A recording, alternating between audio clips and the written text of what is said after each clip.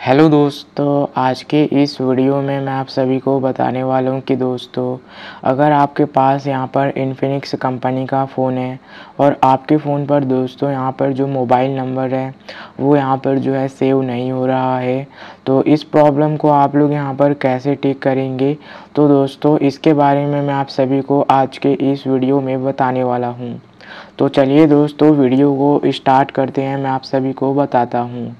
तो यहाँ पर दोस्तों, सबसे पहले आपको यहाँ पर क्या करना है कि आपको यहाँ पर जो है, सबसे पहले अपने मोबाइल में सेटिंग को ओपन कर लेना है। उसके बाद यहाँ पर आपको जो है एप्लीकेशन का ऑप्शन आएगा तो आप लोग एप्लीकेशन में क्लिक करिए और उसके बाद यहाँ पर आप लोगों को मैनेज एप्लीकेशन में आ जाना है। मैनेज एप्लीकेशन में आने के बाद दोस्तों, आपको यहाँ पर जो है, सर्च बार दिखेगा तो आप लोग यहाँ पर सर्च बार में क्लिक करिए। और इस तरीके से आपको यहाँ पर कंटैक्ट लिख लेना है। कंटैक्ट लिखने के बाद आप लोगों को यहाँ पर कंटैक्ट एंड डायलर का ऑप्शन आ जाएगा।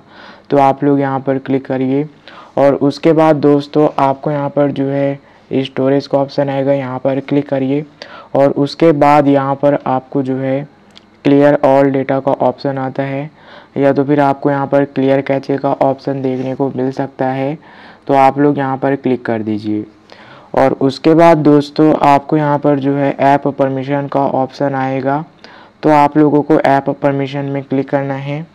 और उसके बाद यहाँ पर आप लोगों को बहुत सारा परमिशन जो है, यहाँ पर आपको शो करेगा। तो आपको यहाँ पर जो है, इसमें जो है सभी परमिशंस को आपको यहाँ पर इनेबल कर देना है। यहाँ पर आपको जो है फ़ोन का परमिशन मांगेगा। फ़ोन का परमिशन को इनेबल कर लीजिए। फ़ाइल एंड मीडिया के परमिशन को इनेबल करिए। बेसिकली आपको सभी का परमिशन यहाँ पर अलाउ कर लेना है। तो उसके बाद दोस्तों, आपकी प्रॉब्लम यहाँ पर सॉल्व हो जाएगी।